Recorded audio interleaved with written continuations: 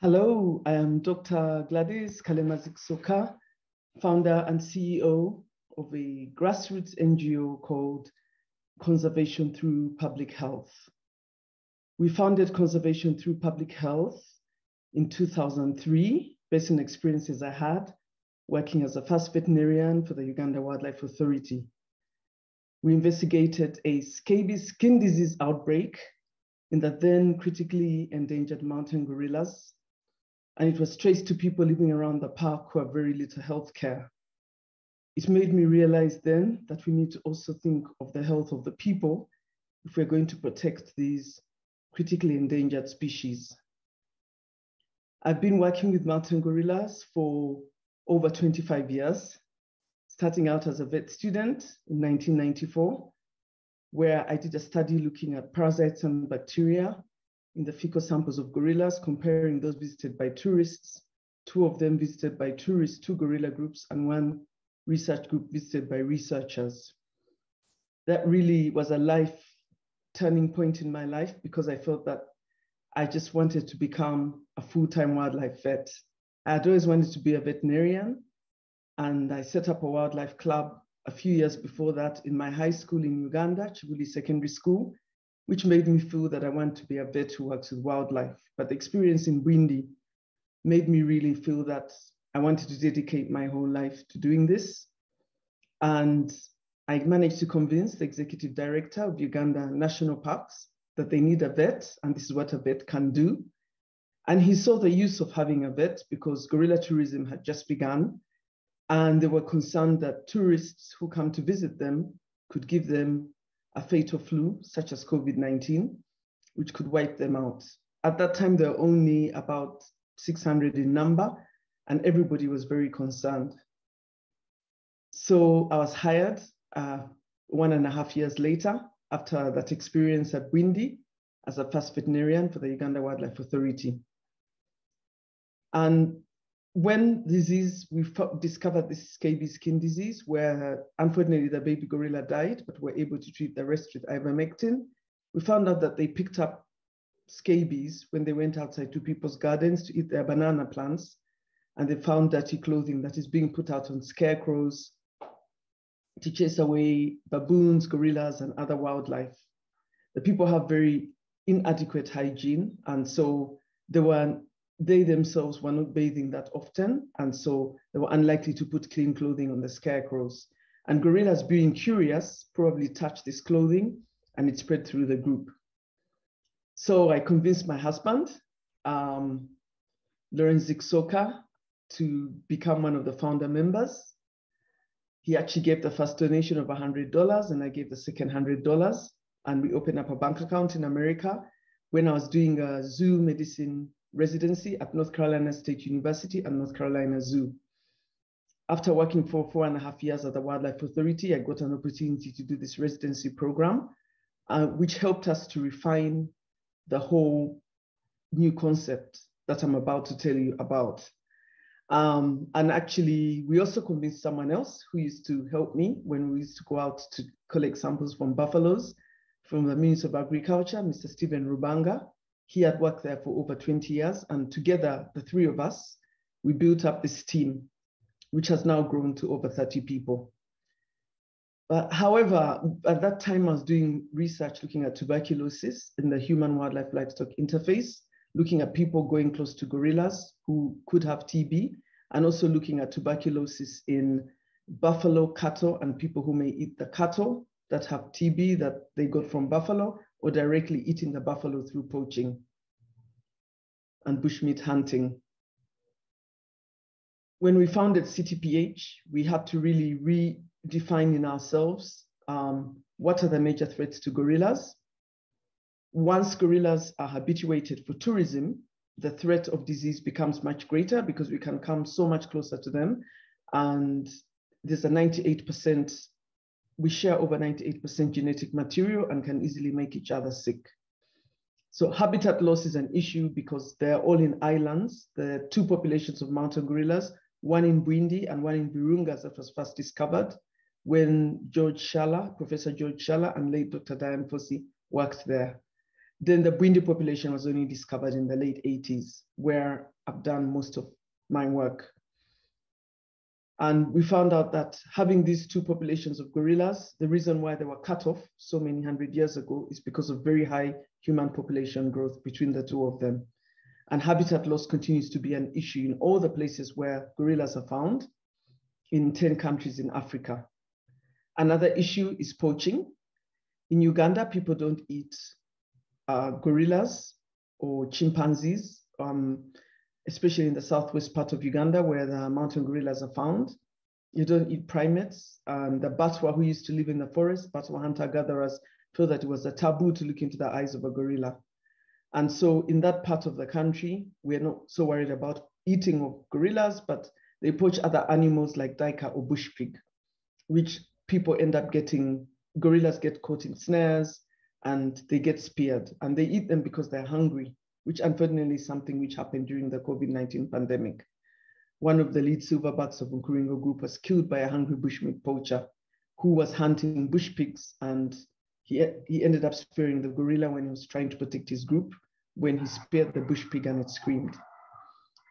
The next big threat is the bushmeat trade, which is more of an issue with the Western lowland gorillas in, and cross river gorillas in West Africa but also the eastern lowland gorillas are faced with stress with that similar kind of threat. But the biggest one that I'm talking about today is disease, because tourism has brought a lot of revenue. In fact, the only gorilla subspecies which is growing in number is the mountain gorillas, possibly because tourism has resulted in local communities benefiting greatly from tourism. Not only are they hired by the park and the lodges to look after the wildlife and to serve tourists who come to visit, but some percentage of every park permit goes to the local community. And it's an act of parliament in Uganda that 20% of the park entry fee goes to the local community and $10 from every permit. And on top of that, they're able to sell crafts to the tourists, very nice crafts, looking like this, and they're able to sell food and accommodation. And so with all this, um, tourism is something that we started to look at more closely, especially during the pandemic. With CTPH, we set up three integrated programs, wildlife health monitoring, community public health, and alternative livelihoods, which are integrated. We have a Gorilla Health and Community Conservation Center where we regularly analyze fecal samples from gorillas and people and livestock who they share their habitat with, and occasionally other wildlife as well we're trying to prevent disease transmission and we're able to look quickly to see if it's there and either treat the gorillas, but also treat the people and treat the livestock so they don't make each other sick. It's like a One Health research lab. And then we also have a, we strengthen community-based healthcare and we've won awards for our village health and conservation team approach, where we basically make sure that community health workers also continue to promote conservation, the dangers of bushmeat eating, zoonotic disease that can spread between people, gorillas, and other wildlife. And so they, they're very aware of this. Then we, through this process, we work with gorilla guardians who had gorillas back to the park when they come out and teach them to also do gorilla health monitoring when gorillas are outside the park and work with the park rangers to do gorilla health monitoring when gorillas are inside the park. The third program is alternative livelihoods where we support coffee farmers living around the park. This is 100% Arabica, which scored 92 points on Coffee Review in 2018 and was among the top 30 coffees that they, that they reviewed in 2018. And when I was, whenever I was trekking gorillas, I often, checking on the gorillas, I often crossed coffee farms. And these farmers, I soon realized were not getting a fair market or a steady price. And we needed to help them. And so what we did is we set up Gorilla Conservation Coffee. And what happens is that we give them above market price for good coffee. They're trained to do this. We have trained agronomists on our team. And a donation from every bag sold goes to support the work of conservation through public health. These same farmers would otherwise be poaching or collecting firewood in the forest. And this is another way to reduce the threats to the gorillas and their habitat. During the COVID-19 pandemic, all of this was threatened like tourists were no longer coming. And so we had to look for markets outside Uganda in order, in order to support the coffee farmers. And we're able to find one UK in UK, the Manuro beans, and the US GC Coffee USA.com started to buy coffee again in January 2021. Actually, Manuro beans placed a second order just before, just after the first gorilla was killed during the pandemic, unfortunately, Rafiki. We lost Rafiki during the pandemic due to a hungry bushmeat poacher. But this led us to think that we need to address food security. So we started to provide fast growing seedlings to the communities over there who are really suffering because they were really hungry. They said there were many poaching because they were hungry. And this helped to reduce the pressure on the park and the need for people to enter the park. During the pandemic, of course, our biggest concern was that the tourists could bring COVID to the endangered mountain gorillas and threaten the conservation efforts that have really helped in the numbers of gorillas going up.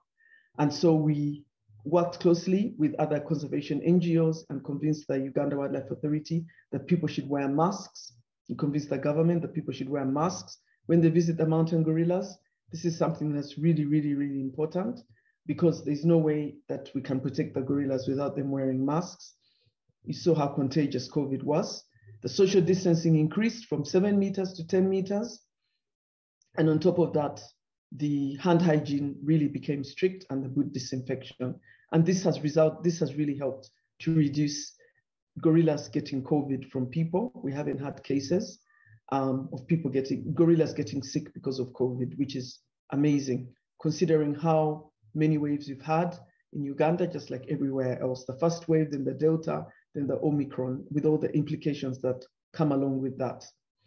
We also trained the gorilla guardians that when they had gorillas back, they have to wear masks.